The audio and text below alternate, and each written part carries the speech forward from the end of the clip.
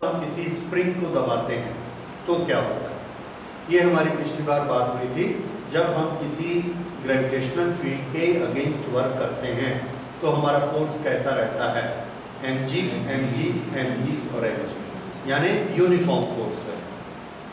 अब अगर हम स्प्रिंग के अगेंस्ट वर्क करते हैं तो वो फोर्स यूनिफॉर्म नहीं रहता। है वो फोर्स कैसा रहेगा?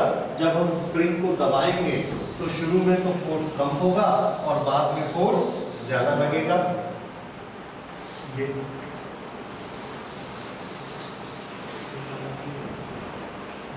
यहाँ से जब दबाना शुरू करते हैं, थोड़ा सा दबाते हैं, कोई खास फोर्स नहीं लगता। लेकिन जब ये इतना ज़्यादा दब जाएगा, ये। देखिए यहाँ जब हमने इसको वन सेंटीमीटर दबाया तो हमको फोर्स लगाना पड़ा वन न्यूटन लेकिन यहाँ आकर जब हम वन सेंटीमीटर दबाते हैं तो हम क्या देखते हैं? वन न्यूटन से नहीं दबता है। हमको कितना लगाना पड़ेगा? टेन न्यूटन ट्वेंटी न्यूटन इतना ज़्यादा लगाना पड़ेगा, तब ये दबेगा। इस तरह से स्प्रिंग में जो फोर्स लगता है that force is non uniform force तो ये वाला फोर्स कैसा होगा? Non uniform non uniform means it is increasing अच्छा। अब इसके लिए थोड़ी सी कैलकुलेशन सीखिए। इस स्प्रिंग में, इस स्प्रिंग से रिलेटेड एक क्वांटिटी होती है। वो हमको ये बताती है कि ये स्प्रिंग वापस हम पर कितना फोर्स लगाता है। इस स्प्रिंग को हमने एक मीटर दबाया है। एक। तो हम देखते हैं कि हमारे हाथ पर वो कुछ फोर्स लगाता है।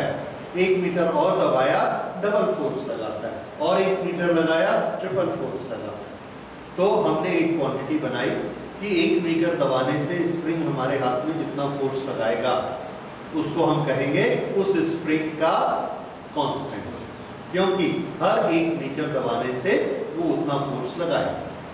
ठीक है? That is known as spring constant के तो स्प्रिंग कांस्टेंट के क्या चीज़ हुई? ये एक फोर्स है।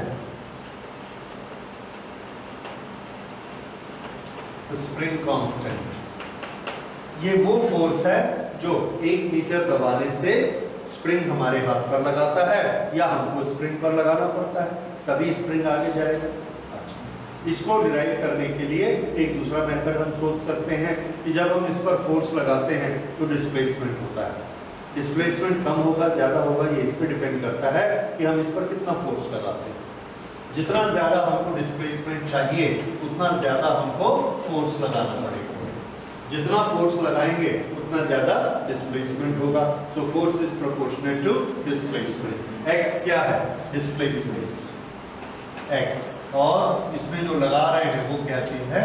फोर्स जितना ज़्यादा दबाएँगे, उतना ज़्यादा फोर्स अब अगर इसको प्रोपोर्शनेट को इक्वल करना है तो हमको एक कांस्टेंट लगाना पड़ेगा। F इज़ इक्वल टू के तो ये जो कांस्टेंट है ये कहलाता है स्प्रिंग कांस्टेंट स्प्रिंग कांस्टेंट अगर हम इस स्प्रिंग कांस्टेंट को सेपरेट करें तो ये किसके बराबर हो जाएगा? F by x what is F? Force and what is x? Displacement तो if x is equal to one metre तब k किसके बराबर हो जाएगा? F फोर्स तो आप सुनिए spring constant of a spring is equal to the force applied by it when the displacement is, when it is compressed by 1 meter.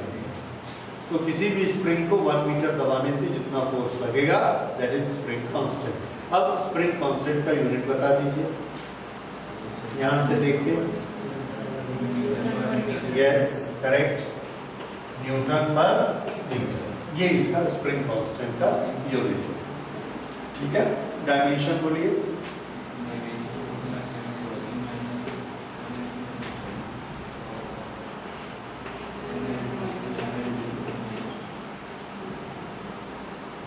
Force का क्या होता है? M L T minus two उसमें किससे divide कर देना? एल तो क्या बचा? एम टी माइनस टू ये इसकी स्प्रिंग कांस्टेंट की डायमेंशन आ गए। अच्छा इसके बाद जब हम स्प्रिंग को कंप्रेस करते हैं तो हमको उस पर कुछ वर्क करना पड़ता है और वो वर्क उसकी एनर्जी में कन्वर्ट हो जाता है। तो ये कितना होगा? इसके लिए हमारे पास एक तरीका है कैलकुलेट करने का।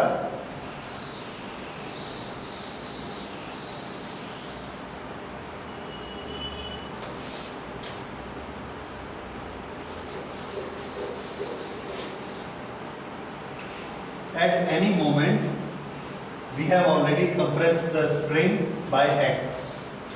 अगर हमने इसको x से कंप्रेस करके रखा हुआ है तो ये हम इस पर कितना फोर्स लगा रहे हैं? तो आंसर है, हम इस पर फोर्स लगा रहे हैं के एक्स ओके अब हमने क्या किया? के एक्स फोर्स लगाते लगाते इसको थोड़ा सा और कंप्रेस किया। अगर इसको थोड़ा सा और कंप्रेस करते हैं, कितना? डी एक्स यहाँ से हमने इसको dx और कंप्रेस किया। ये dx इतना छोटा कंप्रेशन है कि हम ये मानते हैं कि इतने छोटे से कंप्रेशन में फोर्स नहीं बदला होगा। फोर्स F का F रहा होगा क्योंकि dx कितना है? बहुत ही छोटा है पॉइंट के बराबर। अगर फोर्स नहीं बदला होगा तो हम वर्क कैलकुलेट करने का अपना सिंपल फॉर्मूला अप्लाई कर देंगे। क्या सिंपल फॉर्मूला है? फोर्स मल्टीप्लाइड बाय डिस्प्लेसमेंट तो हमने यहाँ पर अप्लाई कर दिया तो उससे हमने वर्क निकाला, वो वर्क कितना मिलेगा हमको? फोर्स मल्टीप्लाइड बाय डिस्प्लेसमेंट चूँकि ये डिस्प्लेसमेंट बड़ा छोटा है, इसलिए वर्क डन भी कैसा माना जाएगा? बहुत छोटा, और इसलिए हम उसका नोटेशन देते हैं D W so dw for a very small displacement dx is f into dx okay, now पूरा एक्स दबाने के लिए कितना वर्क हुआ होगा? तो इसके लिए फिजिक्स हमको कौन सा मेथड सजेस्ट करती है? मैथमेटिक्स में integration dx dx dx dx सब मिला के x होता है इंटीग्रेट करना है so integration f dx. But f is a function of x. F का x के साथ क्या रिलेशन है ये रहा रिलेशन f ऑलरेडी x का एक फ़ंक्शन है, और वो फ़ंक्शन क्या है? Kx. तो इसको हम क्या लिख सकते हैं? के एक्स डी एक्स अब इसको इंटीग्रेट कर दीजिए। के कांस्टेंट है एक्स डी एक्स का integration X square by two so this is half K X this is work done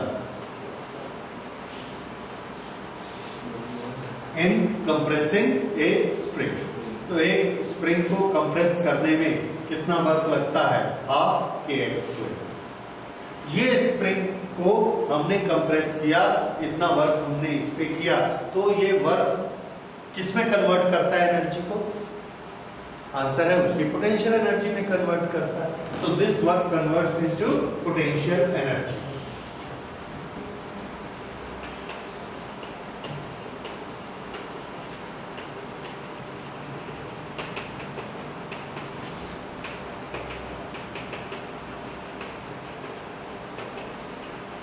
potential energy of spring. Therefore, potential energy of spring is equal to half kx square. ये formula हम याद कर लेते हैं।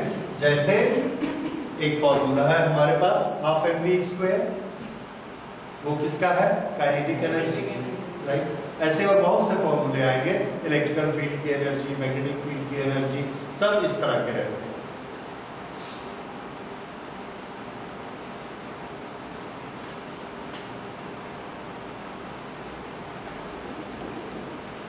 तो ये potential energy of a spring power किसकी होती है? पावर उस एजेंट की होती है जो वर्क करता है। वो मशीन वो डिवाइस वो आदमी जो वर्क कर रहा है, उसके पास एक फ़िज़िकल क्वांटिटी होती है दैट इज़ पावर ये क्या क्वांटिटी हमको बताती है कि वो आदमी एक यूनिट टाइम में, एक सेकंड में कितना वर्क कर सकता है? दैट इज़ इट्स पावर जैसे हमने एक मोटरसाइकिल ली उसको फुल एक्सीटर दिया। उसने हमारे पे फोर्स लगाया। हमारे मास पे हमारी बॉडी पे मोटरसाइकिल पे फोर्स लगाया और फोर्स लगा के एक सेकेंड में उसने 50 मीटर डिस्प्लेसमेंट कर दिया। Work is done that is force into 50 metre displacement दूसरी मोटरसाइकिल हम लेके आए वो उससे ज़्यादा भारी है। उसको एक्सीटर दिया। तो हम क्या देखते हैं कि वो एक सेकंड में हमको 70 मीटर तक ले गए वर्क डन ज़्यादा हो गया एक सेकंड में तो हम क्या बोलेंगे? सेकंड मशीन में क्या ज़्यादा है? पावर ये पावर एक सेकंड में जो वर्क कर। अब इसको हम कैलकुलेट कैसे करेंगे? तो आंसर है कि अगर टी सेकंड में टी सेकंड में किसी मशीन ने डब्ल्यू वर्क किया है तो वन सेकंड में कितना वर्क करेगी? W upon work upon time और वन सेकेंड में जो वर्क करते हैं, उसको क्या कहते हैं? पावर तो ये किसका फॉर्मूला बना? पावर तो हमने पावर का फॉर्मूला बनाया. Power is work upon time power of an agent is work upon time ये पावर होता है। ओके अब इसकी यूनिट क्या होगी? तो वर्क की यूनिट जूल और time second joule per second लेकिन हमने इसको बहुत यूज़ करना होता है तो हमने इसकी एक डिराइव यूनिट बना ली।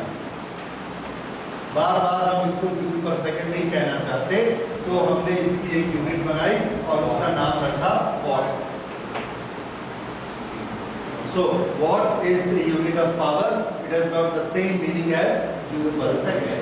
तो ये रिलेशन हम लोग याद कर लेते हैं watt power power in watt is equal to work in joule divided by time in second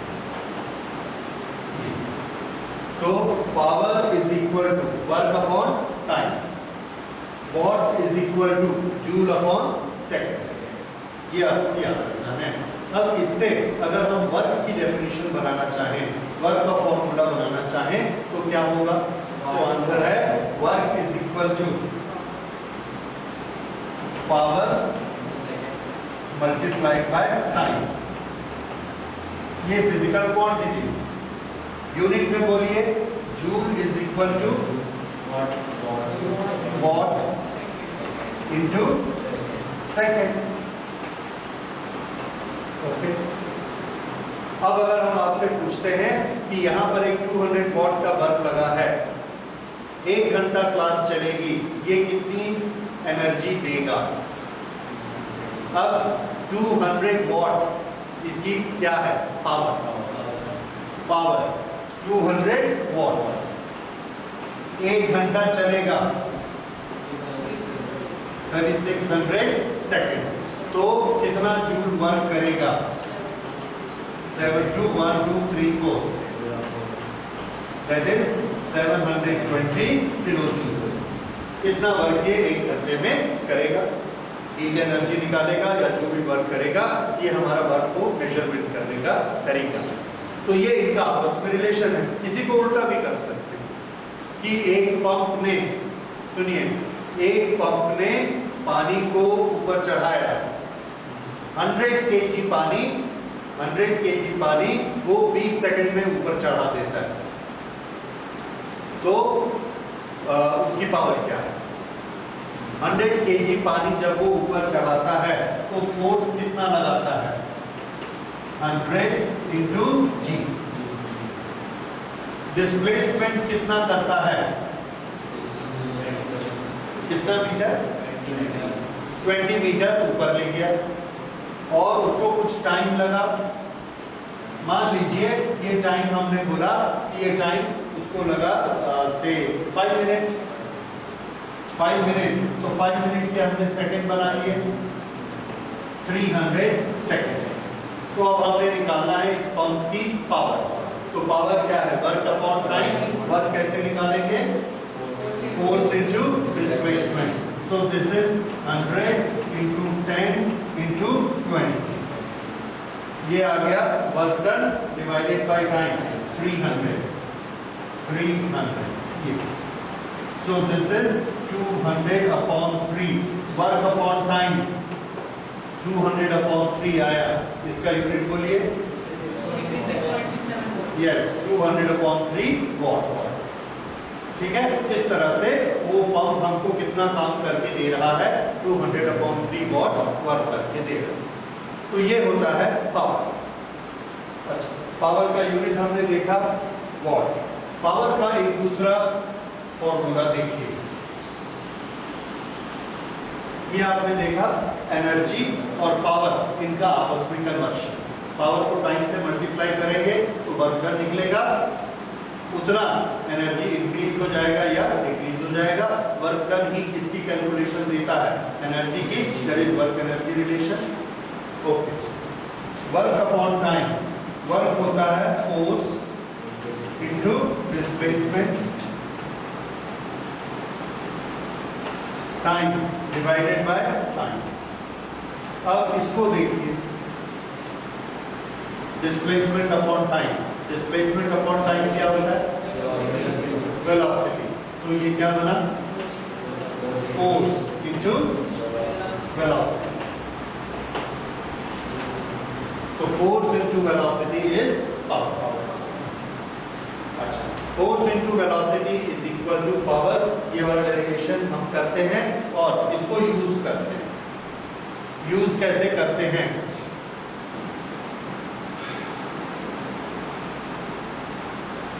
okay number है ये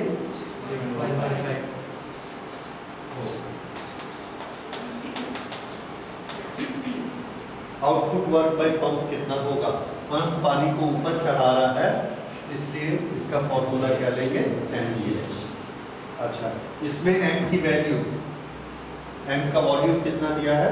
थर्टी मीटर क्यूब और एक मीटर क्यूब में कितना केजी लेना है? वन थाउज़ेंड के जी तो एम कितना हो गया? Thirty thousand G into height कितनी? फोर ज़ीरो फोर्टी ये भी मीटर में है so this is M G H this is output work by pump अब हमको मालूम है आउटपुट डिवाइडेड बाय इनपुट क्या होता है? एफिशिएंसी तो आउटपुट डिवाइडेड बाय इनपुट ये किसके बराबर है? एफिशिएंसी और पंप की एफिशिएंसी कितनी है? थर्टी परसेंट ठीक है? तो इनपुट पावर निकाल लेंगे यहाँ से। इनपुट को इधर किया।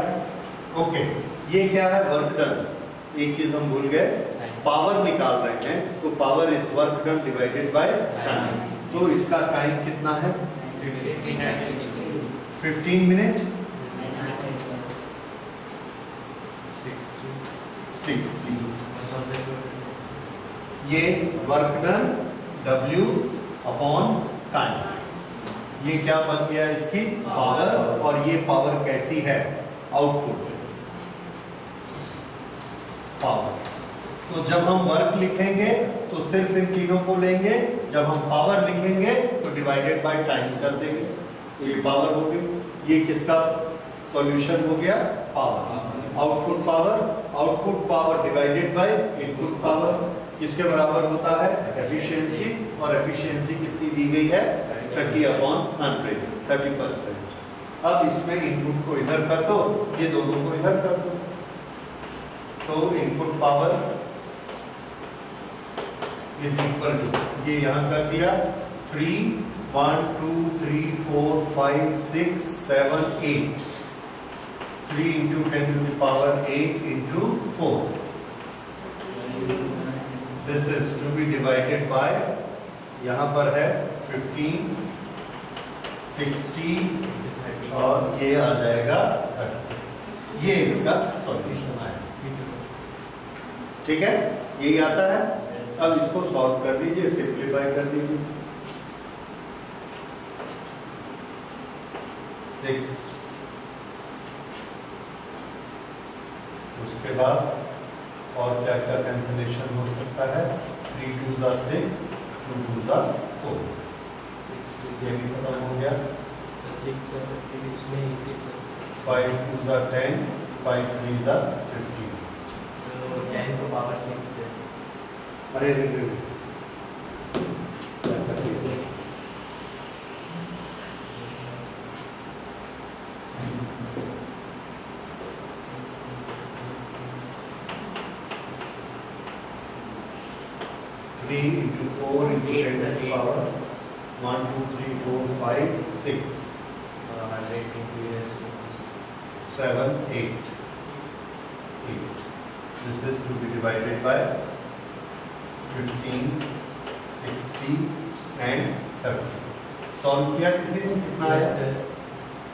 na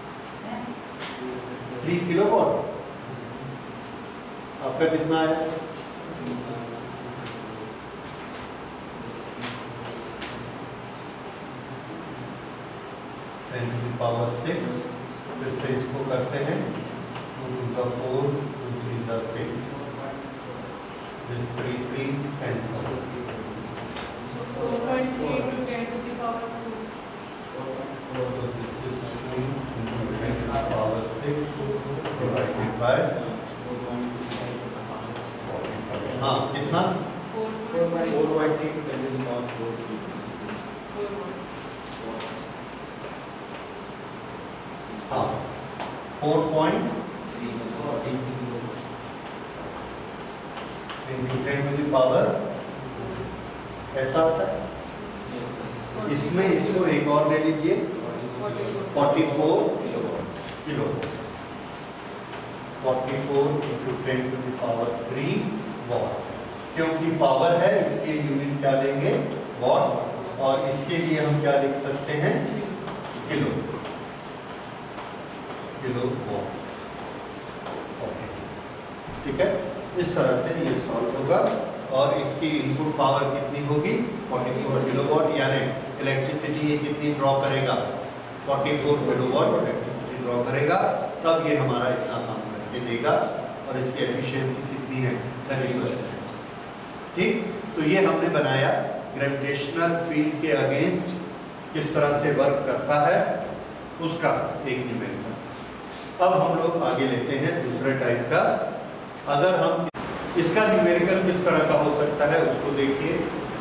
एक रेलवे ट्रैक पर ट्रेन जा रही है और इस ट्रेन की स्पीड है 72 किलोमीटर पर आवर इस ट्रेन का मास है। कुछ मास है इसका लेट अस से 10000 केजी ये इसका मास है। इसकी स्पीड है 72 किलोमीटर पर आवर ठीक है?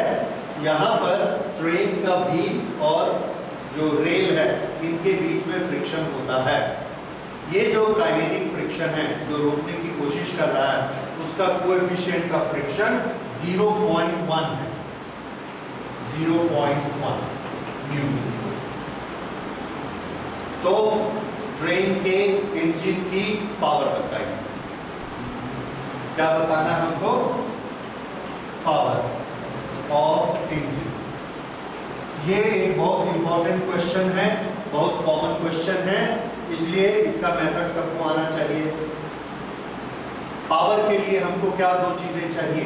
फोर्स एंड वेलोसिटी या वर्क एंड टाइम यहाँ हम देख रहे हैं टाइम का कोई अता पता नहीं है। इसलिए कौन सा लगाएँगे? फोर्स इंटू वेलोसिटी अब एक ट्रेन यूनिफॉर्म वेलोसिटी से चल रही है तो वो फोर्स लगाती है कि नहीं लगाती है? फिर से सुनिए एक ट्रेन यूनिफॉर्म वेलोसिटी से चल रही है तो उसका एक्सेलरेशन कितना है? ज़ीरो अगर उसका एक्सेलरेशन ज़ीरो है तो वो ट्रेन फोर्स लगा रही है कि नहीं लगा रही? है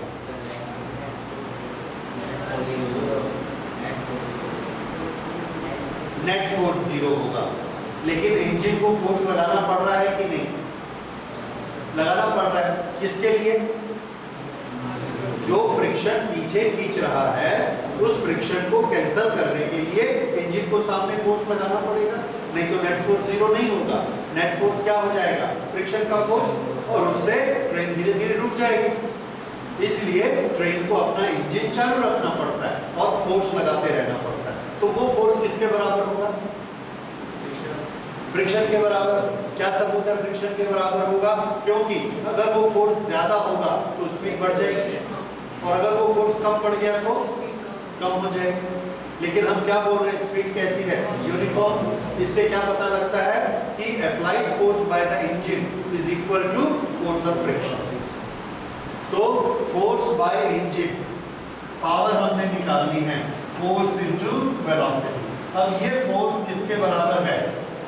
Force of friction into velocity अब फ्रिक्शन का फॉर्मूला याद करिए, जिसमें मास आता हो म्यू आता हो। Yes force of friction is equal to mu into R R क्या होता है? हॉरिजॉन्टल सरफेस पे। R is equal to mg. तो ये क्या हो गया? Mu into mg. Multiplied by अब आपके पास म्यू की वैल्यू है, m की वैल्यू है, g की वैल्यू है और v की वैल्यू है। चारों की वैल्यू रखनी है तो क्या निकलेगा? पावर अब सिर्फ़ हमको एक जो सावधानी रखनी है कि सब की यूनिट एसआई सिस्टम की यूनिट होनी चाहिए। तो जो हमारी पावर आएगी वो वॉट में आएगी। ठीक है? देख के बताइए कितना आया इसका।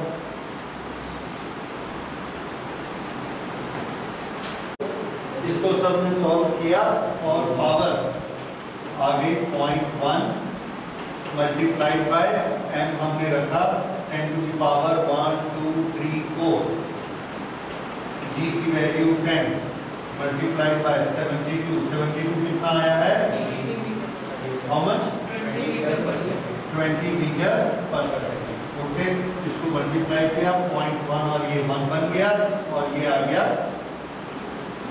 200 hundred into ten to power three watt is 200 kilowatt इस तरह से तो ये एक सिंपल एग्जांपल है। क्वांटिटीज और बदल सकती, कुछ भी हो सकता है। लेकिन ये एक एग्जांपल है पावर निकालने का।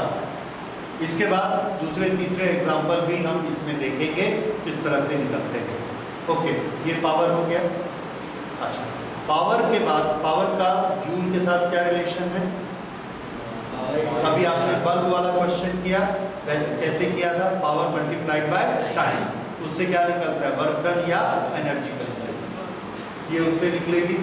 अच्छा अब हम इसके बाद लेते हैं एक अगली चीज़ that is efficiency of machine ये क्या होता है? देखिए एफिशिएंसी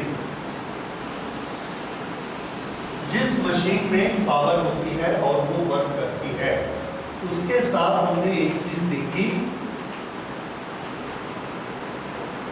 एफिशिएंसी ये एफिशिएंसी क्या होता है? देखिए, हमने एक पंप लगाया पानी ऊपर चढ़ाने के लिए। अब उस पंप में एक तरफ़ से हम इलेक्ट्रिसिटी के फॉर्म में एनर्जी प्रोवाइड करते हैं इलेक्ट्रिकल एनर्जी दूसरी तरफ़ वो हमारा पानी को उठाकर छत पर ले जाता है और हमको मैकेनिकल वर्क करके देता है। तो एफिशिएंसी क्या होती है? हम उसको इलेक्ट्रिकल एनर्जी के फॉर्म में 1000 जूल एनर्जी देते हैं। वो हमको जो काम करके देता है तो वो हमें 800 जूल वर्क करके देता है। तो उसकी एफिशिएंसी 80 परसेंट है। कितना वर्क हमने दिया उसको? एनर्जी 1000 उसने हमको वर्क कितना करके दिया?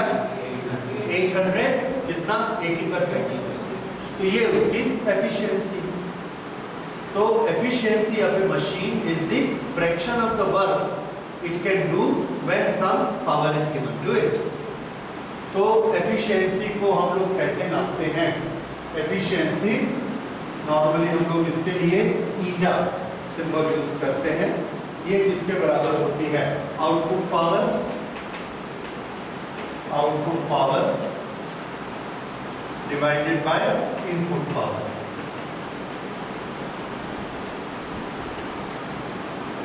power basically watt जो है बेसिकली वो क्या चीज़ है? Joule in one second work done in one second he power है। तो पावर ही वर्क होता है, कोई अलग चीज़ नहीं okay so this is output power divided by input power this is efficiency अब अगर वो पंप हमको 800 वर्क करके देता है तो वो क्या कहलाएगा? आउटपुट और इनपुट कितना कर रहे हैं हम उसको? 1000 हम उसको देते हैं तो कितना आया? उसकी एफिशिएंसी कितनी है? Point eight point eight efficiency किसी भी फ्रैक्शन को हम दो भाषाओं में बता सकते हैं। एक फ्रैक्शन यानी डेसिमल की भाषा में, दूसरा परसेंटेज की भाषा में। परसेंटेज की भाषा में इसको क्या करना है? To be multiplied by hundred तो ये क्या आ जाएगा? Point eight into hundred upon hundred ये तो ये क्या बन गया? 80 इसका नाम क्या है? पर और इसका नाम क्या है? सेंट क्या बना? 80 परसेंट उसके बाद भी हमको इतना लिखने में भी कष्ट होता है। तो हम क्या कर देते हैं? 80 डिवाइडेड बाय 100 80 परसेंट ठीक है? तो eighty percent is a fraction ये क्या है उसकी? एफिशिएंसी तो एफिशिएंसी को इस तरह से बनाया जाएगा। अब इस एफिशिएंसी को भी जोड़कर हमको क्वेश्चन दिया जा सकता है कि ये जो पानी ऊपर चढ़ा रहा है पंप इसकी एफिशिएंसी 50 परसेंट है। तो हमसे कितनी पावर मांगेगा ये? पानी ऊपर चढ़ाने के लिए हमको वर्क डन कितना चाहिए? तो पानी ऊपर चढ़ाने के लिए हमने वर्क डन निकाला। हमको कितना वर्क डन चाहिए? 800 अब इसकी एफिशिएंसी 50 परसेंट है। तो हमको कितनी पावर का पंप लाना पड़ेगा। तो हम लिखते हैं efficiency is 50 percent this is equal to output power हमारी रिक्वायरमेंट कितनी है? 800 पानी ऊपर चढ़ाने की। This is to be divided by input तो इनपुट को इधर करिए। Input power input power is equal to 800 multiplied by 100 divided by 50 1600 watt तो जब हम मार्केट में पंप खरीदने जाएँगे तो हम उसको दुकानदार को क्या बोलेंगे? कि हमको 1600 वॉट का पंप चाहिए कि 800 वॉट का चाहिए? तो आंसर है, हम उसको 1600 वॉट का पंप कहेंगे वो हमको देगा।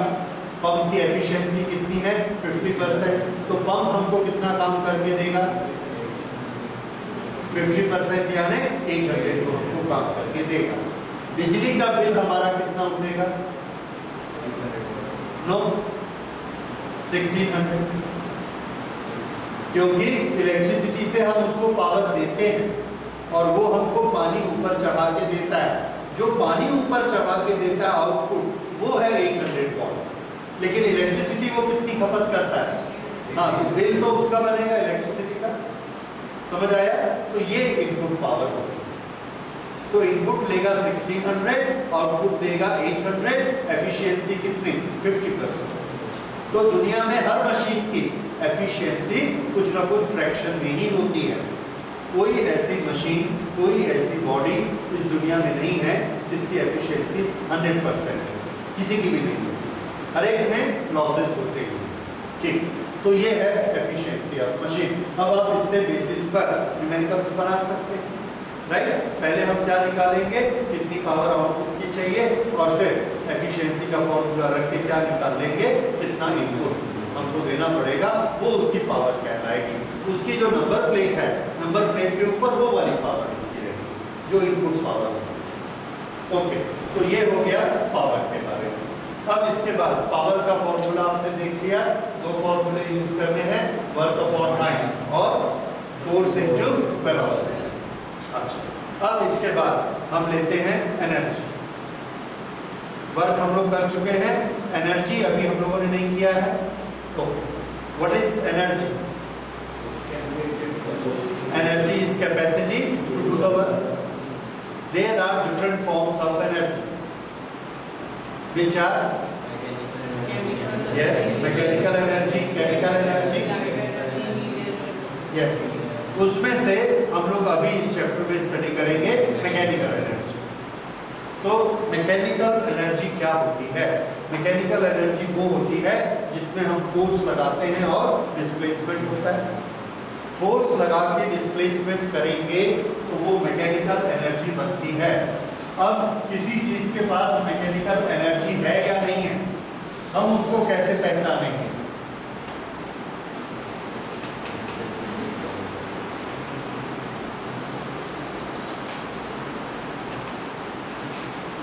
So that form of energy which deals with force and displacement is mechanical energy. अच्छा तो ये मैकेनिकल एनर्जी किसी चीज़ के पास क्यों होती है? तो आंसर है कि किसी भी चीज़ के पास एनर्जी तब होगी जब कोई ना कोई उसको एनर्जी देगा। क्यों? क्योंकि एनर्जी हम लोग क्रिएट नहीं कर सकते। एनर्जी हम डिस्ट्रॉय नहीं कर सकते। Energy can not be created nor it can be destroyed it can only be transform it can only be transferred तो किसी चीज़ में हम एनर्जी को ट्रांसफ़र करते हैं। किस तरह से ट्रांसफ़र करते हैं? फोर्स लगाते हैं डिस्प्लेसमेंट करते हैं। फोर्स लगा के डिस्प्लेसमेंट करते हैं तो क्या होता है? एनर्जी उसमें ट्रांसफ़र हो गई। वो उसके पास स्टोर हो गई और हम बोलेंगे अब उसके पास एनर्जी है। स्टोर करने का मेथड क्या कहलाता है? तो आंसर है ट्रांसफ़र करने का जो मेथड है, उसको हम वर्क कहते हैं। ये हमने पिछली बार वर्क एनर्जी रिलेशन में पढ़ा था। कि वर्क करते हैं तो क्या हो जाता है? एनर्जी एक फॉर्म से दूसरे फॉर्म में ट्रांसफॉर्म हो जाता है। अब हमने क्या किया कि एक कार है कार के सामने हम जाके ऐसे खड़े हो गए आराम से। कार ने हमारा कोई नुकसान नहीं किया। हम खड़े हैं तो कार ने कोई वर्क नहीं किया। दूसरी बात, वो कार सड़क पर ऐसे चलते हुए आ रही है। अब फिर वैसा जाके खड़े हो जाएगी अब क्या होगा?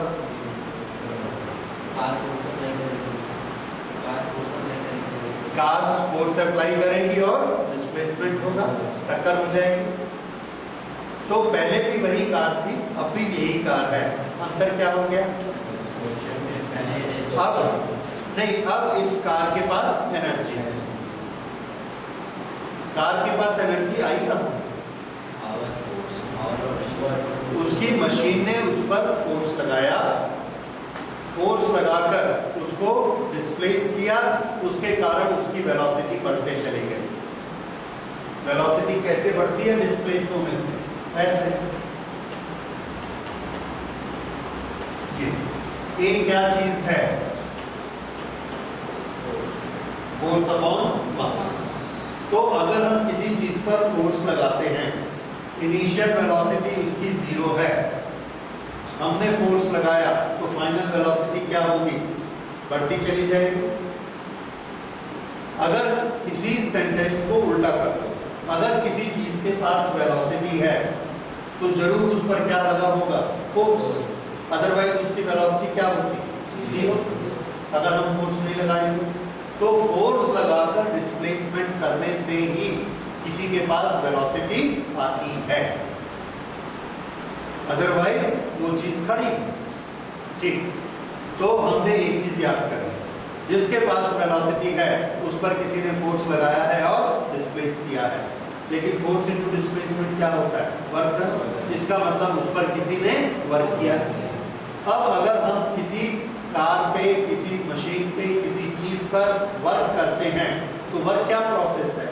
Work is a process which transfers energy जिस चीज़ पर वर्क करते हैं work is done on the car तो वो क्या हो जाएगा? Work will transfer energy to the car और कार की एनर्जी का लेवल बढ़ जाएगा। कितना बढ़ जाएगा? तो जितना उस पर फोर्स इंटू डिस्प्लेसमेंट करेंगे। फोर्स इंटू डिस्प्लेसमेंट करके हमने उसमें वेलोसिटी लाई, उसका एनर्जी का लेवल बढ़ गया और अब वो कार चल रही है। तो एक चीज़ तो पक्की हो गई कि जो कार चल रही है, उसके पास एनर्जी है। क्यों? क्योंकि चलने की प्रोसेस में उसमें क्या काम हो चुका है? फोर्स लग चुका है और डिस्प्लेसमेंट हुआ है। मतलब किसी ने वर्क किया है, तब तो उसके पास वेलोसिटी आई अदरवाइज़ वो तो पड़ी। तो हमने एक चीज़ याद कर ली कि इस नेचर में जो चीज़ हमको चलती हुई दिखेगी हम मान लेंगे कि उसके पास एनर्जी है। ये वाली जो एनर्जी होती है this energy is known as kinetic energy तो किसी चीज़ के पास काइनेटिक एनर्जी होने की पहचान क्या? उसके पास क्या होगा? मोशन और उसके पास क्या होगा? मास तो जिस चीज़ के पास मास है, जिसके पास मोशन है वेलोसिटी है, उसके पास एनर्जी है और उसका नाम kinetic energy okay kinetic energy का हम फॉर्मूला बना सकते हैं। इस तरह से देखिए। काइनेटिक एनर्जी हमने लगाया फोर्स वर्क किया। वर्क किसके बराबर होता है? Force into displacement force is mass into acceleration displacement, s. This we can write as half m 2as इधर टू नीचे, इधर टू ऊपर। उसके बाद इस टू ए एस को याद करिए, ये किस फॉर्मूले में आता है? तो इसको हम क्या लिख सकते हैं? Half m v square minus u square since body start from कोई भी बॉडी किस वेलोसिटी से चलना शुरू करती है? ज़ीरो तो u is equal to zero कर दिया तो क्या बचा ये? Half m v square what is this work done work done on a body work done किसमें, क्या करने में? तो आंसर है उसमें वेलोसिटी v लाने में। पहले उसके पास वेलोसिटी क्या थी? ज़ीरो फिर हम वेलोसिटी क्या लेके आए? V तो कितना वर्क हमने उसमें कर दिया? हाफ़ एम वी स्क्वायर और ये हमारा वर्क क्या करता है? हमारी एनर्जी को कार को ट्रांसफ़र कर देता है। उस बॉडी को ट्रांसफ़र कर देता है। तो बॉडी के पास कितनी एनर्जी हो गई हाफ़ एम वी स्क्वायर और इसका नाम काइनेटिक एनर्जी क्योंकि बॉडी मूव कर रही है। तो इसके बाद हम एक सेंटेंस हमेशा यूज़ किया करेंगे। This work done on the body converts into its energy this work done on the body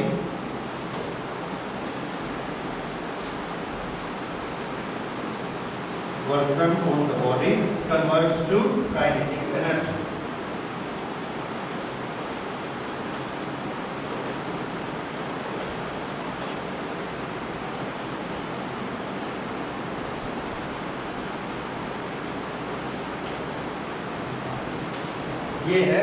kinetic energy का फॉर्मूला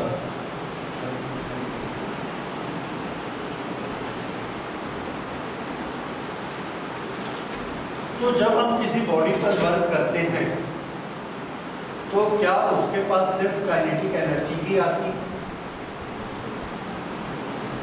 कोई दूसरे तरह की एनर्जी नहीं आ सकती है? और कोई पहचान नहीं होती है?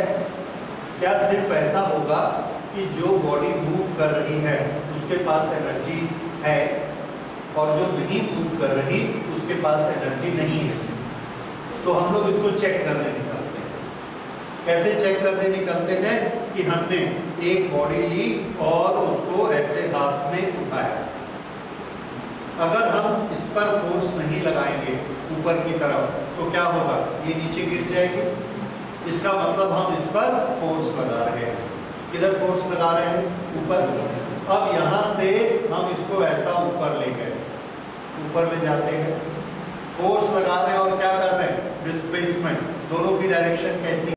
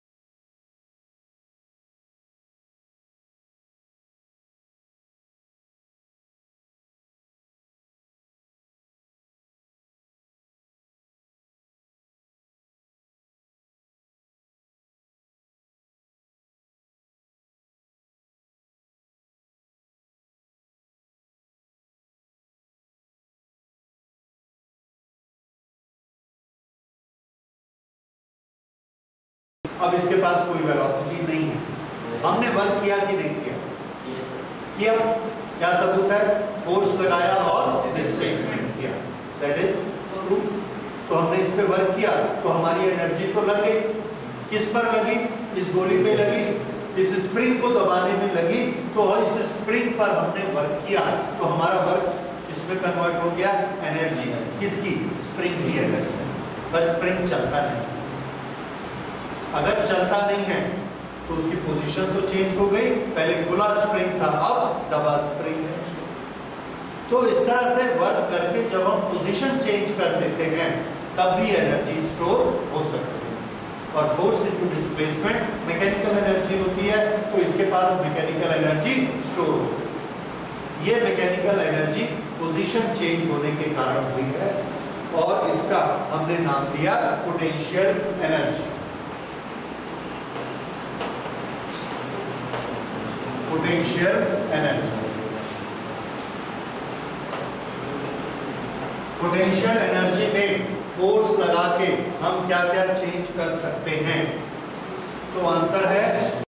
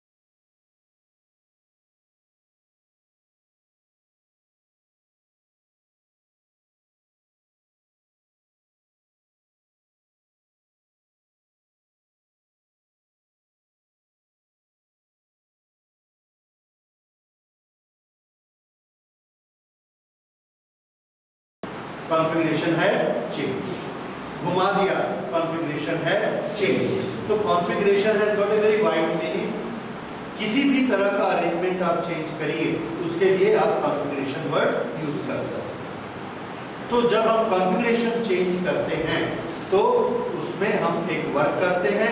उस वर्क के कारण उसके पास एनर्जी आती है और उस एनर्जी को हम क्या कहते हैं?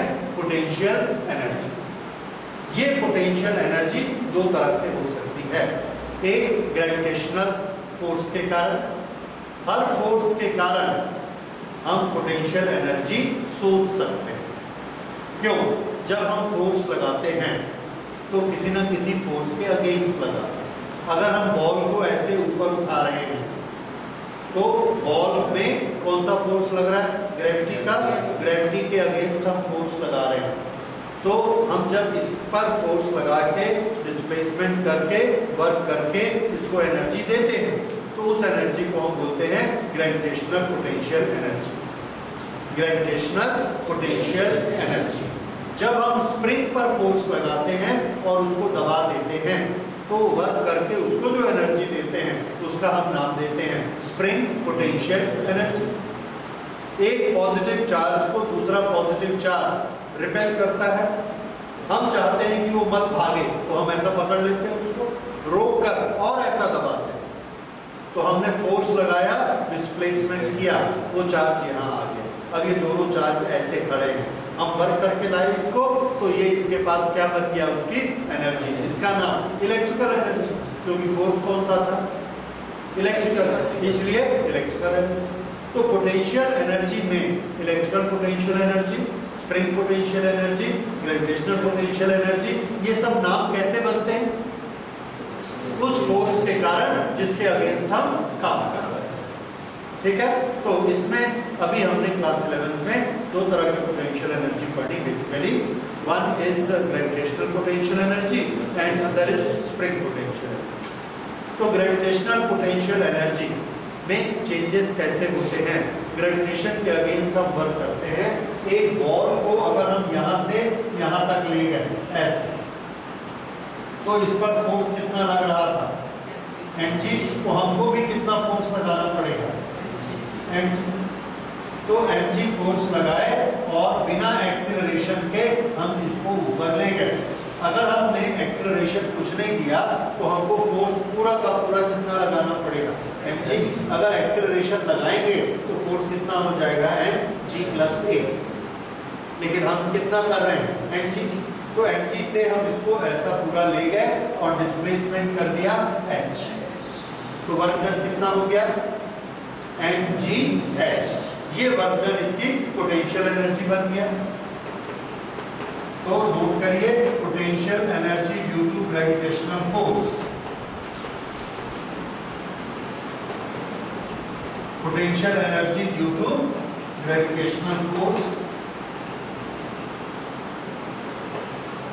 is mgh basically ये उसकी पोटेंशियल एनर्जी ना होके चेंज इन पोटेंशियल एनर्जी है।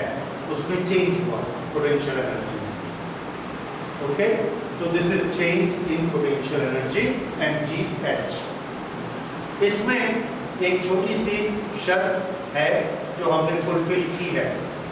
या हम मान कर चलते हैं कि जब ये बॉल यहाँ पर था तो हम कितना फोर्स लगा रहे थे? M g? जब ये बॉल यहाँ पर आया, अब भी हम कितना फोर्स लगा रहे हैं? M g? जब ये यहाँ पर था, तब भी हम कितना फोर्स लगा रहे हैं? M g? तो थ्रू आउट फोर्स में कोई चेंज आया क्या? नहीं। So this is uniform force कैसा फोर्स है? Uniform force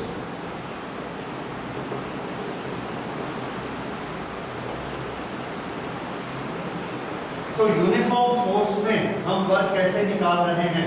Work is equal to uniform force multiplied by displacement full displacement बड़ा सिंपल फॉर्मूला है और उससे हम निकाल लेते हैं work done and this converts into potential energy ठीक है? तो ये होता है ग्रेविटेशनल पोटेंशियल एनर्जी इसके बाद जब ये फोर्स नॉन यूनिफॉर्म होते हैं, जैसे स्प्रिंग स्प्रिंग के केस में जो पोटेंशियल एनर्जी होती है, वो नॉन यूनिफॉर्म होती है। उसको फिर अब हम लोग अगली क्लास में करेंगे।